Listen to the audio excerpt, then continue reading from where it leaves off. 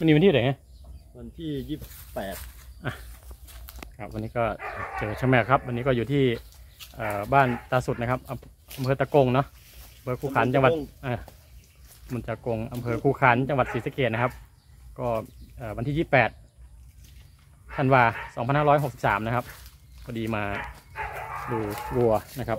บ้านตาสุดเนาะเอ่อวัวเพิ่งคลอดเมื่อคืนนะครับอะมาดูของแปลก วัว มีสามหูนะครับหูที่สามเป็นสามมีหนังนะครับ มีนี่ของสองหูแล้วก็มีสามหู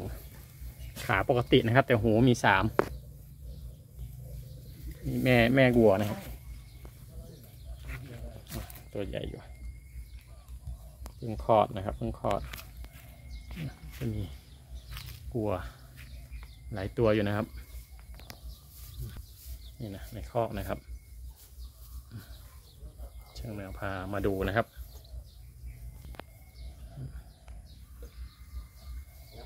ก็เอาของแปลกมาฝากนะครับ เดินเดินแล้วอ๋อนี่เพิ่งคลอดนะครับเมื่อคืน ตอนนี้ก็เวลาประมาณ 16นาฬิกา17นาฬิกาแม่วัวคลอดใหม่ๆนะครับ ลูกก็สมบูรณ์ดีนะครับ แต่หูมีสามนะครับ หูตรงกลางมีเหมือนเหมือนใบหูอีกใบหนึ่งเป็นสีขาวนะครับขนเป็นสีขาวแปลกดี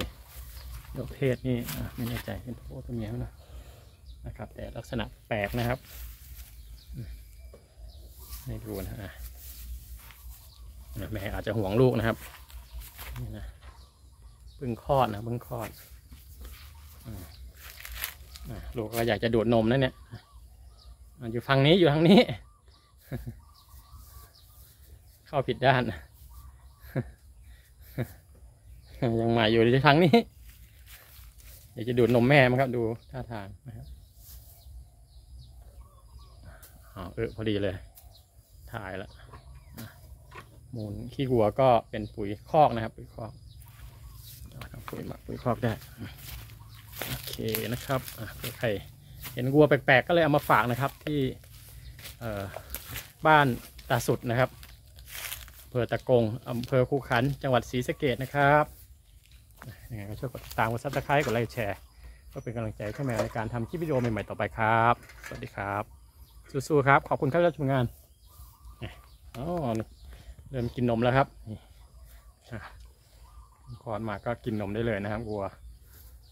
พยายามจะดูดนมแม่นะครับ กระตุ้น ก็เป็นวิธีธรรมชาตินะครับ เอามาฝากนะครับ